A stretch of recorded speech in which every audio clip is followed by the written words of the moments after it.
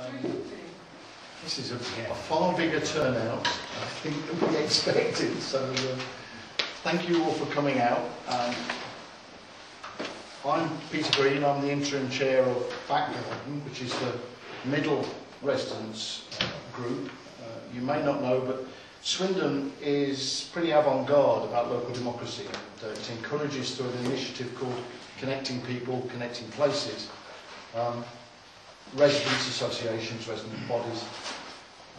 There are three in Eastcott, there's the Kings Hill Area uh, Association, and then on the other side, Queen's Park Community Council, and Back Garden in, in the middle. So uh, I'm the interim chair because we haven't got round yet to having a general meeting, but it's on the 5th, Saturday the 5th of May. We're having a clean-up on the Cross Street Alley, so if you, uh, alley, so if you want to come along and beat the living daylights out of some nettles first, then dive into the beehive and have a business meeting. You're very welcome. So that's uh, Saturday, 5th of May. So, it's wonderful to be here. We are a very non-political residents association. Um, we try, whenever we hold things, not to take a party line over anything. Some of you will know what my politics are. They're not relevant really to this meeting. This is an opportunity for everybody to ask questions especially I think at this kind of local level where it's important that you've got commitment uh, from local people. So we're non-political, but it doesn't mean we don't work with politicians. They're very important people. So we're also very pleased at the, the interest that's been shown by the three parties. Uh, I think it's uh, often too easy to criticise councillors, but it's uh, a job which is pretty thankless, um, as maybe we'll find out later on tonight when uh, questions get asked. I have an apology um, before we get properly underway.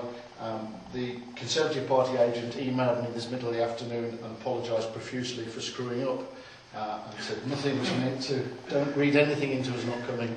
It was just one of those things that happened. Okay, so the programme for tonight, and, uh, and we will obviously adapt it because we're depending on how it develops. We've never done this before. The idea is in the first part of the meeting, we will ask the three parties to talk for no more than 10 minutes about why they, you, they think they've got the answers to the problems, why you should be interested in them. We'll then have another break for some tea and coffee and you can nobble them and talk to them individually.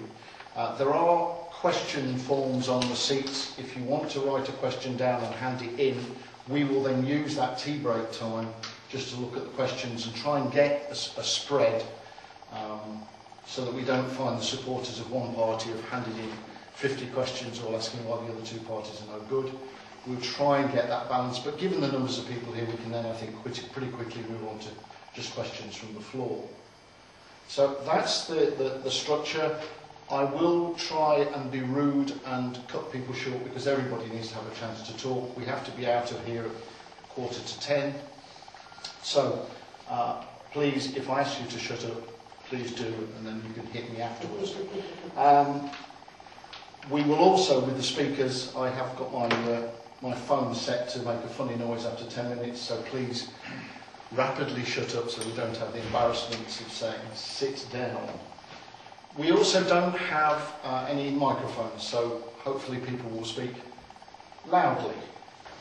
Okay, so a moment ago we did um, do a draw for the running order of the first section uh, and to see which party would talk first. So the running order went Labour, Lib Dem in the centre, and Greens. So Caroline Voigt, Andy Union. Mm -hmm.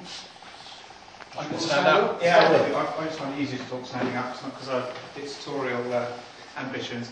Um, thank you very much for coming, all of you, and thank you very much for um, the Back Garden campaign. And Peter, I'm sure, has been more than uh, involved his fair share in organising this. So thank you very much for giving us an opportunity to put forward our pitch for why you should support us in the election.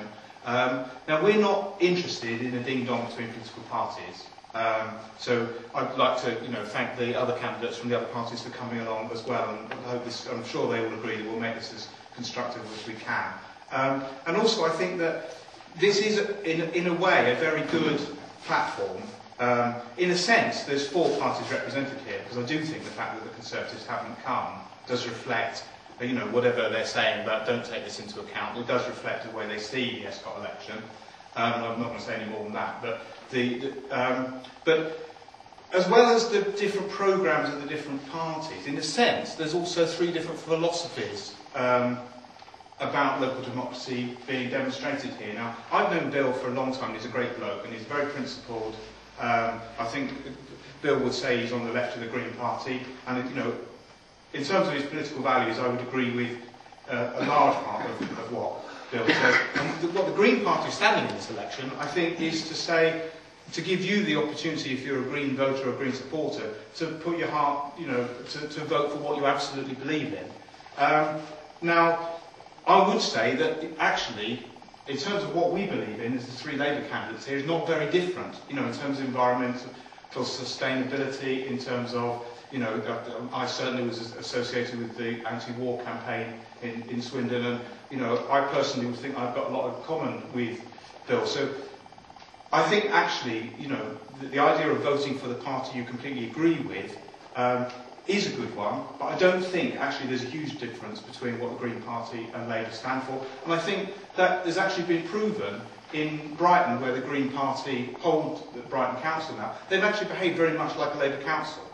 Um, so I think you know that that is an interesting issue. Now the Lib Dems are making a pitch in this election, saying let's get back to basics. This is all about what councillors can do in this ward and what we can do for you as ward councillors for local democracy, getting it right about graffiti and, you know, the dog mess and car parking. And absolutely, I agree. I mean, they do that, they do a good job, we can do a good job too. We've proven that over the last couple of years where we've been working this ward, that you don't have to be the councillors in order to take up issues and to resolve things for residents. And what I would like to see is that, to be honest, all of us here on this table, I'm sure, are interested in doing what's the best for Swindon and what's the best for Escott. And I honestly don't think that when it comes down to it, that issues like sorting out car parking or sorting out drainage on the street or sorting out graffiti are part of political issues. I mean, these are issues where all of us are standing on the basis that we are competent, we are, will be hardworking, we're committed to this area, and the Lib Dems and myself, I think, would do an equally competent job. Um, you know, there are Labour councillors in other wards in Swindon who are doing a good job on all of those issues. And if we're elected, then we will continue to do a good job as the Lib Dems have done. And we've already, even not being the councillors, working on all of those issues. Now, what the Labour Party's pitch, which is different, we're not saying, you know, this is a vote, you know, for, vote for principle, you know, against the three parties. We're not saying we're only about the local ward, which effectively is what the Lib Dems have to say, because they've only really got a chance in Escot this time around. What we're saying is that for us, it's about who controls the council. We've had 10 years of a Conservative council, and only at the Swindon-wide level can the Labour offer an alternative to taking control of the council. Because every single council is up, that is something which is a real possibility this time round. Now, there are a number of things there. First of all, even if you were a Tory voter, the, the Tory council have been disastrous. I mean, what the Tories normally try and represent themselves as is the people who are careful with public money. Now, the Tories came in 10 years ago, Swindon Borough Council had a £6 million surplus in the bank. They've now got an £80 million deficit. They spent things like £400,000 on Wi-Fi, and nobody's got free Wi-Fi. They spent a fortune on the urinal in the middle of town, the, the fountain. You know, they spent... Um, They've wasted the money on the tabernacle stones, there's been a number of vanity projects, and also what they've shown is really a certain contempt for people in terms of their accountability, their lack of transparency, um, their, their inability to engage with the popular. You know, whatever you think, for example, of the, the proposal to build a school at Croft, the consultation and the way it's been dealt with has been abysmal. You know, so We have got a commitment coming in that a Labour Council will be transparent, it will consult people, it will be democratic. You know, in terms of its budget priorities, if we get to set the budget in 2013, we will be consulting with community groups and with trade unions and with businesses and, you know, all the stakeholders in Swindon and we will make a real effort to be a council for Swindon. But the other thing is that Swindon desperately cries out for leadership but to bring jobs and growth. Now, the Labour Party has always had a view of Swindon that, to be honest, it's not as pretty or beautiful as Bath or Oxford. And therefore, there has to be a reason why people come and live here. And the reason is, is that we've been able to offer employers um, a reason to come here. There's a skilled workforce. Um, it's a harmonious town with relatively low crime, some of the lowest crime in the UK. And what we're trying to do is to say that to bring, to make people want to live here, You've got to make it a nice place. You know, so we've got nice parks, we've got good um, leisure centres and community centres, and sustaining a good standard of living for Swindon is very important in order to make it attractive to bring jobs here and to make it attractive for people to live. And that's why Labour said there have been a number of areas. The Tories have basically failed to bring any jobs in their 10 years to Swindon. They, have, they put the regeneration and the, the economic development of uh, of the town into the hands of a private company, Forswin, who have done almost nothing. So one of our pledges is we will bring that back into council control and the councillors will fight for Swindon to bring jobs here and to make standard living as good as it can be for ordinary working people in Swindon. We will be a relatively modest council. There won't be any whiz bangs and uh, fireworks going off. What we're going to try and do is concentrate on doing a good job of running Swindon. Um, you know, so you know, I think the most exciting page that we've got is that we're going to increase the pothole budget. You know, but we will. We've also said that we're going to start building council houses again. We're going to look at exploring a number of ways of you know, addressing the problems that, that people in, in Swindon have.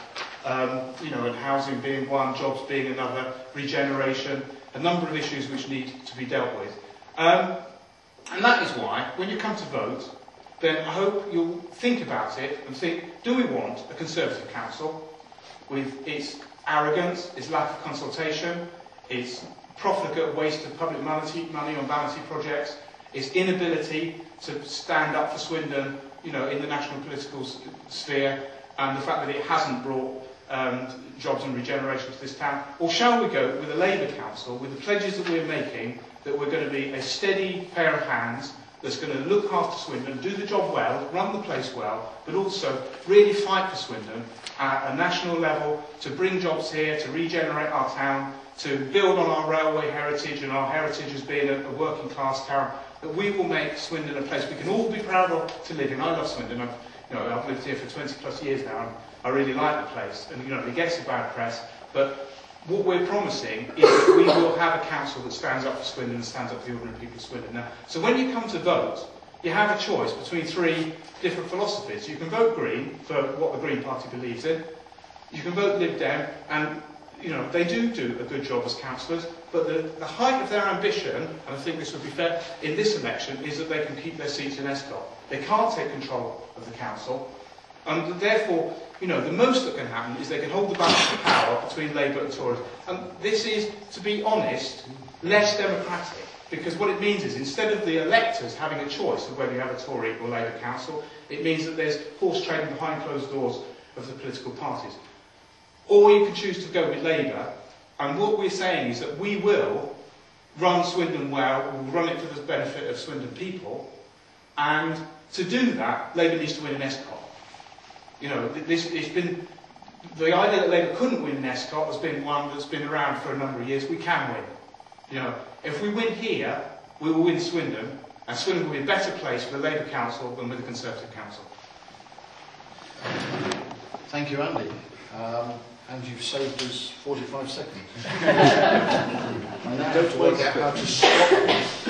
No, the next one's only gets 45 seconds. It's the same as just a minute. So thank you for that. It, it's rather unusual to be at a meeting where somebody ends with an exhortation and go and nobody applauds, but it is a, it's not that kind of meeting, I, I know. So that, Andy Newman from the Labour Party.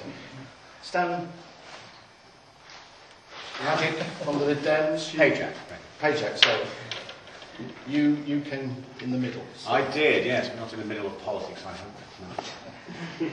Right, it's funny actually, um, I actually made a mistake about my name, because I, I, we've always used this Payjack, I've always thought that was actually the best way of actually making people pronounce it correctly, because the true pronunciation of it actually would be Pająk, because it's a Polish name meaning spider.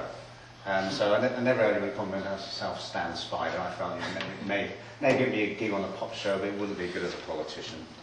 Um, but politics is a strange thing. And I've been, I've been involved in politics when I was first elected um, well, 27 years ago on the Borough Council. And Andy actually makes a, a lot of good points about politics, how it changes and metamorphoses into one thing or another. And obviously now seeing that obviously he's putting the idea that you know Labour can revolutionise, actually be a good power. But you always have to remember how the Conservatives got in because actually they worked on the example of how bad Labour was in the past. So politics does change. And one thing I've understood about politics is actually, is actually trying to involve people. So if I was going to put any cliches about my life in politics, it's actually trying to put people first, making people responsible, getting people involved. Peter alluded actually to actually about, well, this, that's actually this group here, the back garden. And I believe there's actually a role for, for people actually to take power. I've been involved in community councils, and actually I'm the, I'm the chairman of the Queen's Park Community Council. And that is all about involving people. I think that's crucial in politics. Because no matter what you say, it's, it's our lives that politics actually involves. In the Swindon Borough Council, you're actually involved in Swindon Borough Council the moment, you moment you open your front door. The pavements, the highways, the schools in nearby, it's all about local issues, and they are important. The councillor has many roles. One of them is almost like a liaison, a liaison person, like you contact your councillor to get, to get a, a problem solved. Has anybody done that? I'm sure you must have done trying to get... Uh, Yes, hurrah! Somebody's actually come down to the council to get some work done, and it's a, it's a good role. And I think that's important. So it always has been that element. Uh, when I first started in politics, there was, we, well, for, for nothing, actually probably actually on the queue, I was actually trying to get the, the King's of Carlton Crossing many years ago. It's all about that, trying to actually involve people, get things done for people. So we will never change from that. Uh, and you also alluded actually to um, how the parties are similar, I think. Uh, and in truth, that's probably true because when actually we set the budget for 2012, there was no alternative budget ourselves. We actually put points forward, but we did not put a, another budget. And again, uh, Labour didn't put another budget because we all work under the offices of actually national government, who more or less set actually what money we can actually make we can actually claim from people. So we are, we are governed by finances. It's actually what you do with those finances that are important. And I think that's crucially important. Uh, I suppose we're here for the Escot Huskian, so it's all, all about es Escot in the sense that, um, although Andy takes it to a different plane he talks actually about whether we can take control of the council, but in truth, that could happen. It's up to the, the people there. They actually have the decision because the, the first time in over a decade you are deciding the whole council. Aye, the whole council is up for election. You can decide. I often think with three votes, it's a bit, a bit like the X Factor, but a very good prize.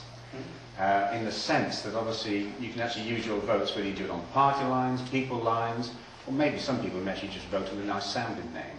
I don't know, but actually have two have three votes in most of the wards. So it's a peculiar election. And obviously uh, you are, you're voting on many, many grounds. I mean, does everybody here vote on party grounds? Who votes on party grounds? Anybody vote on party grounds? Yes, there must be somebody who votes on party grounds.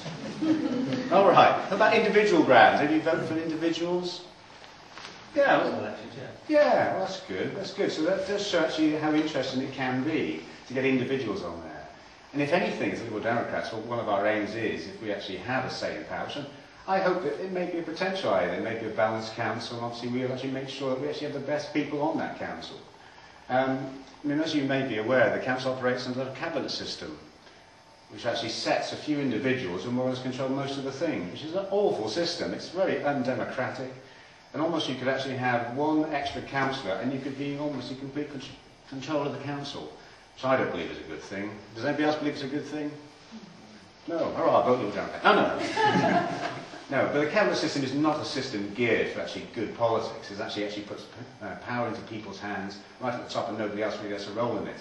As councillors actually play a game, really, actually in council meetings, you put forward motions and like that, knowing it's going to be defeated because of the nature of the, the numbers game there. So it actually has seen a problem there. And there has been a devolution or devolution of power, which is localities, which actually we form here part of the, the Eastcott locality or central Swindon. So the idea of actually putting more powers to people, which I think is a good I think everybody would actually that. Really actually just as far as we go to put more power in people's hands. As Liberal Democrats, we've always stood for that. Our, our, well, as you see in our leaflets, it's all about that, trying to involve people actually creating actually neighbourhood areas or anything else. It's all about putting more power in people's hands. If nothing else, I hope that's what I want to do. Now, there may be examples where people feel it hasn't gone that way, and that may be an example of actually how the process failed. Consultation, because Mrs. Boyd there would be very, very keen to hear that word about consultation, but you have to have effective consultation. Um, she was actually involved very much in the Croft Primary School. They went to consultation, but it wasn't a real consultation, I think that's true to say in a sense. Ambush. Yeah, an ambush in the sense that if you give people yeah, what's going to happen before it happens more is actually fall inside. So there has to be a real transparency in all council decisions. And again, that's what Liberty to stand for. And I think we'd all testify the importance of that. And again, Andy referred to the Wi-Fi mess. And that's all about transparency. It was very, nobody really understood how it all happened, really. And it wasn't transparent. A council that works like that, actually, when it's all behind hidden doors, is not a good council. And if anything, that's one of the biggest critics of Conservatives. It was a feeling your involvement was only piecemeal. It wasn't a real involvement. If anything, you really need that to be feel part of it. So again, Liberal Parliament is all about that. Involvement of people and trying to get the things that you want done. Uh, and I think that's probably been a testimony of all the, all the time I've been as a councillor. It hasn't always been easy. Uh, when I was first elected, back, all the way back in 85, we actually took control of the county council by default. I, we were not the biggest party, but um, Labour didn't want to, to get involved, and obviously the Conservatives were beaten by the Labour and the Liberal Democrat votes together, so you took it by default. And the one thing I learnt when you become in power is how difficult it becomes, because suddenly you're in charge of the money, and then you start to have to make hard decisions, i.e. not just your pet projects, but actually where you spend money. That's always going to be a hard, a hard, a hard, a hard problem. I think we'll probably all testify to that, and I'll show you actually how yours are budgets now. Do you all have problems with your budgets at home? All right. so it, it is difficult. So politics is difficult and actually being a councillor can be difficult. But I think what we're trying to say in actually our manifesto is actually we will represent you and actually get the things that you want and keep in touch, not just at election time, but all the year round. Those are the classic phrases we've always used and those are the classic beliefs that we've always had. And I think they're the right, they're the right thing. I suppose I have to talk a bit about politics because I know Andy was almost giving this glorious picture, but I mean, the reason why the Tories took more and more control was actually Swindon was in such problems that uh, it was actually more or less taken over by the government in effect. All our education was taken over out of our, out of our hands, or our policies were taken out of our hand, and they brought in Mr Pitt to actually to, to took, it, all, took, it, took it all over. So they were difficult times, and, and that was the reason why Conservatives started to come on strong. There is another other strange thing, I have to tell you the truth, that Swindon often reflects an anti-government vote. If Labour are in government, It usually does go to the opposition parties. And again, if the Conservatives are in, there is a tendency more people to vote for Labour. No, it's not going to change. Not going to change the government. It will change the council. So there is some odd things there. Now we have a coalition government. I'm not quite clear where that puts the Liberal Democrats, really. We did. so we have foot in both camps. Obviously, we appear to be the opposition to the government, but actually can actually put more pressure on them than ever before. And it's a strange experience being a Liberal Democrat. Actually, we are getting some of our policies through. The idea of taking people out, you know, out of income tax completely and things like that. So it's a very strange experience, and I think we still haven't quite got used to it, actually, how we can put more pressure on the government to get our things. But it seems to be happening. So it's again an example of coalition in, in being. So again, if the council does result in a, in a balanced council, I believe we can make sure that is one that actually means we can get our policies through. I think hopefully for the benefit of Swindon, actually people, people here. Swindon is a, a very interesting time. I don't know about you, but it feels a very dynamic time. The town centre is incredibly changing. We actually have on our doorstep, hopefully, the demolition of the college. Don't hold your breath. No, yes, yes. um, so, but obviously with that you'll have a, a cinema, a Marston supermarket, the idea of restaurants, something that actually make you feel good about Swindon. Because I, I, I'm not sure about 30 seconds. All right, well, very quick. I've lived in Swindon all my life and I think it's about time I actually start changing for the better uh, and something to be proud of. I mean, I, I think there was a, a reference actually to Swindon, Swindon being an ugly average town. Well, we don't want either of those things. We want to make a great town. I want it to be above average and actually giving the people an involvement in its, in its future and always to be involved actually to be proud of our town. Obviously, you vote for us, we've been on that trail with you.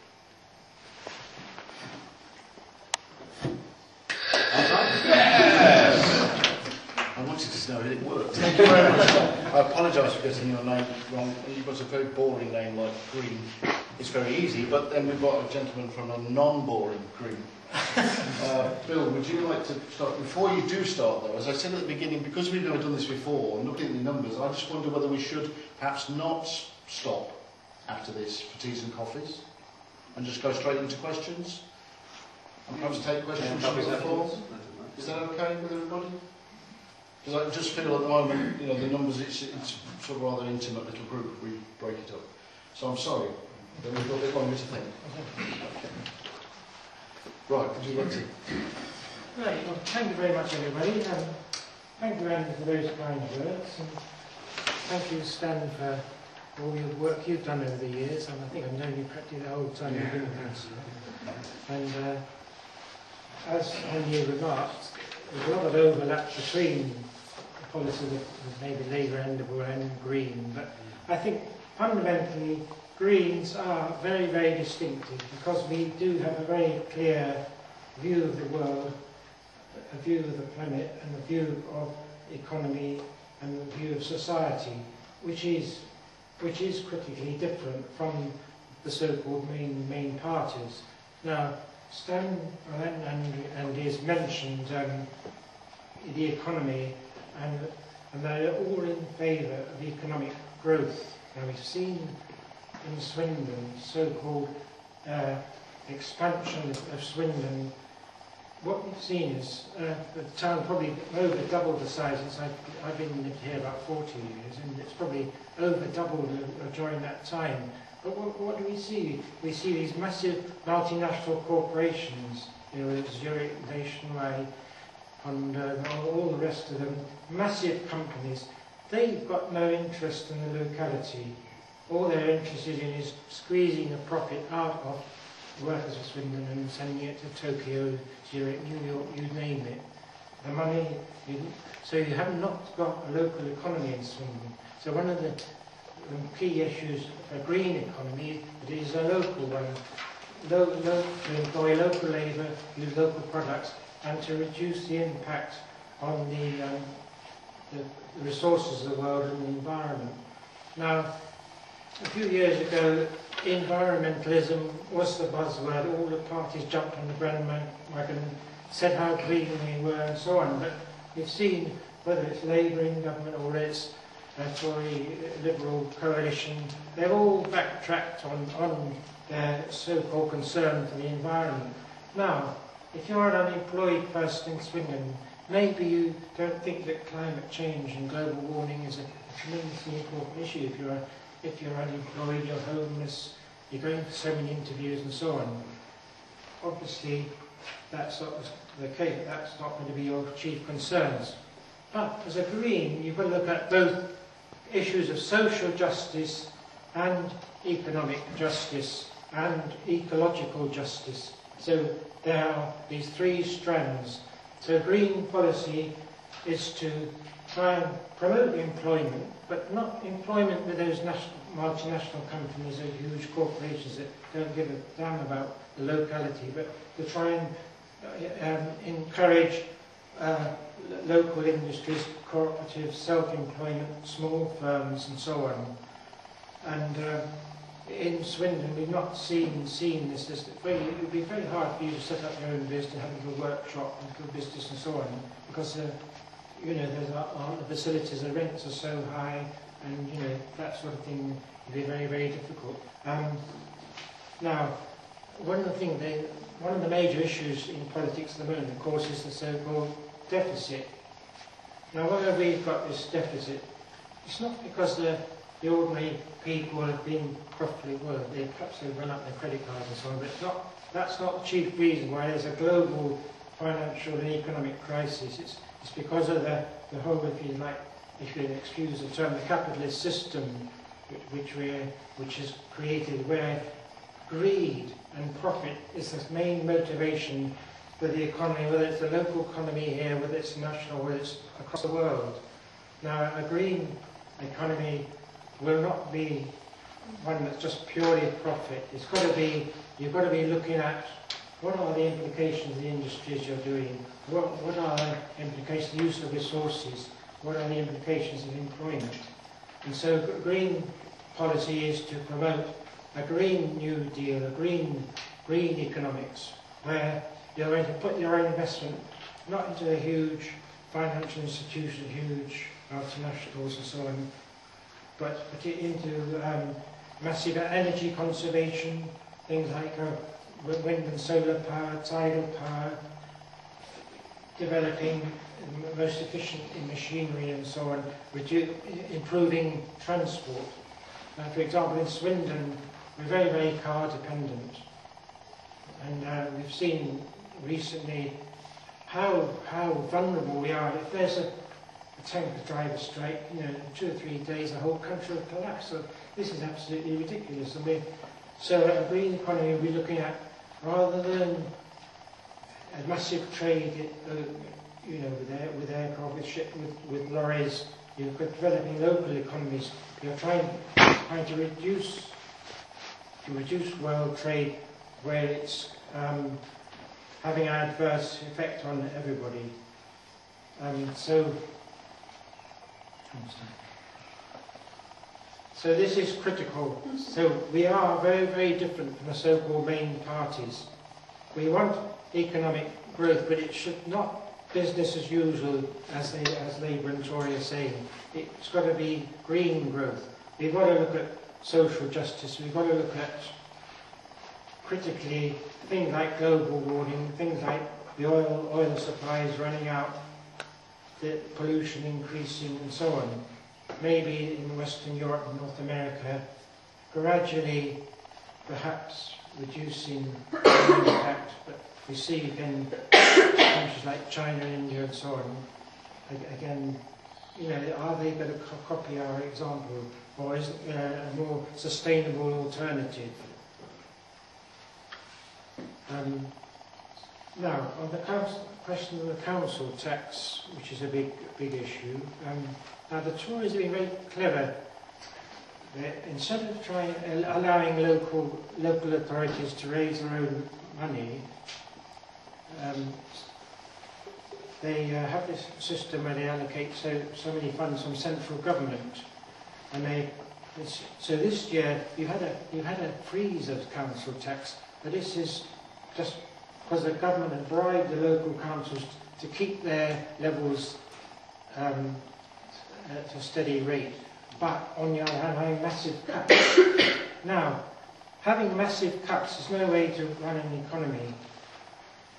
If you're going to have massive cuts, I mean, the full Tory cuts we're experiencing in, in conjunction with the Liberals, but we're still going to have a, a, half the cuts are still going to come from Labour as well. But these cuts are, are going to have a very, very damaging effect and going to reduce the reduce taxation, reduce the income available for both local, uh, central and local government. So what we need is to in, put this investment into put people into work in, into a green economy, raise, raise the amount of economic activity, raise taxation, not, not reduce it, reduce the tax on the rich like the, the Tories and the Liberals want to do from 50% to 40% or 45% and try and um, uh, and also with the local taxation at the moment on the on the uh, the banding of properties again, this is you're letting off the very rich people altogether.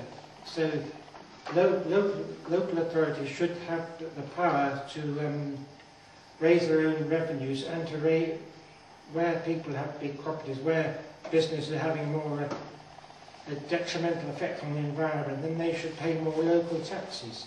Now, the, the three main parties would shy away from this, but you know, if, if we're serious about this deficit, then you've got to raise money from where the money, that money is being, uh, the source of that money, which is the huge profits from these, these uh, multinational companies, and also the, there's that sort of 1% very, very rich people in the country that are, you know, literally getting away with murder, with their taxation, whether it's through uh, uh, tax havens in the Caribbean or Switzerland or Isle of Man or wherever you know, and obviously the Tories and the Liberals aren't, aren't going to grasp that nettle and they're not going to really get to grips with the basic economic problems. So I hope I haven't bored you too much. you've got three votes. Unfortunately, there's only one green vote, but that means you can definitely vote for one green and you've got a choice of the others. I would say they were liberal, Tweedledum, Tweedledee, Tories. Tories definitely no.